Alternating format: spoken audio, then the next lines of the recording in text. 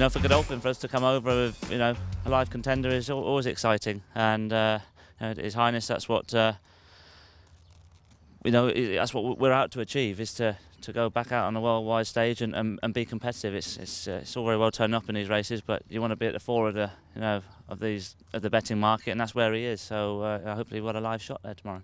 Why do you want to win any race? But coming over here, this, you know, we know this is a very prestigious race. Um, so, uh, you know, to come up to, firstly for us to, to get over here, you know, what it takes a bit of achievement to get us get us here. Um, like I say, there's a lot of work that's gone into the horse, and uh, it, you know, to come, to come onto a worldwide stage like we are uh, tomorrow, really looking forward to it. Delighted with him this morning. Um, you know, he's travelled over well, and um, he looked at Mikey uh, Ennis. He's, he's, you know rides him all the time at home. He's, he, he was delighted with him.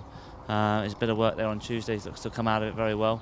Uh, he's actually a bit more sprightly here. I was just saying to the guys, he's a bit, bit more alert here than he would be at home. You know, training on the track would be unusual for him now. Like I say, back in the UK, they'd be used to you know, more uh, like more conventional training. So on the track there, it just lights him up a bit more, which is good to see. He's showing his well-being out there.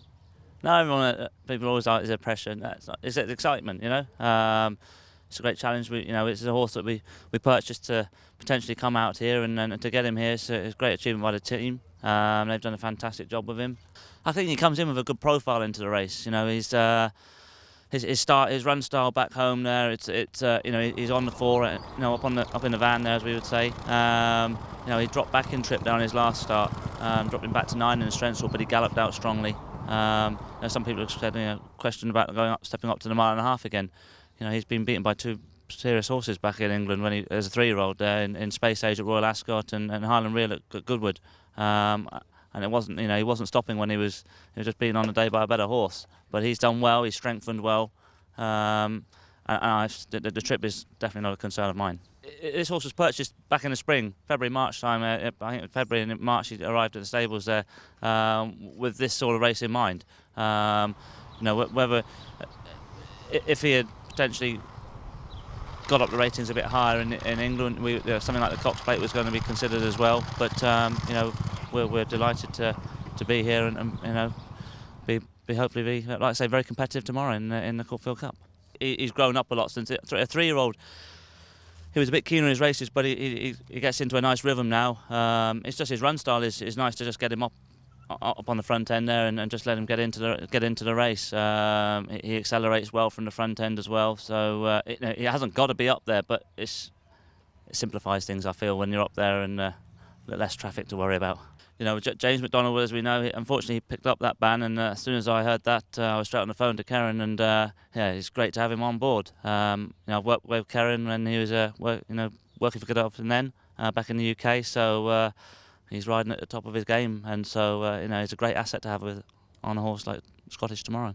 Personally, I think he comes in with a good profile. Um, you know, you can tie little bits of form in around it all with, with a few of them, um, and, and and when you do do that, I feel he's coming out on top.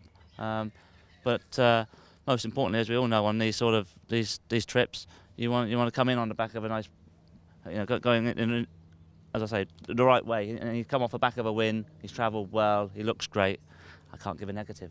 John O'Shea has always been very very kind and, and given us you know his uh, his ideas and, and, what, what we need to look for um, for type of horse to come down here. Uh, he came over to England there for, during uh, Ascot, so uh, caught up with him a lot there at the stables there. Uh, and obviously James McDonald has been over there last two years. He, you know, two years ago he rode winners for us back in the UK and uh, and was there again this summer. So you know, ha having to having those two guys around to be able to bounce some ideas off is is great for me and the team to have horses here. That's what what, what we're aiming to, to achieve year on year now. And this is my first trip over here, and, and the guys as well. And um, so uh, for us to have come over here, like I say, with a with a live shot is uh, it's exciting. Um, you know, some people, as you mentioned, there is there pressure? No, it's excitement, and, and, and His Highness puts his full support behind it. Um, you know, we've got runners here that we hopefully we might try and we can get a, get a win under our belt here, um, get them into the into the Melbourne Cup as well. Um, but uh, know, I was talking to a couple of the guys there on, on arrival, and I've barely been here for 24 hours, but uh, you get a, a, good feel over here. And, and uh, you know, what one thing we, do, we should do is go home and uh, we'll make sure we try and find a live contender for next year's Melbourne Cup as well.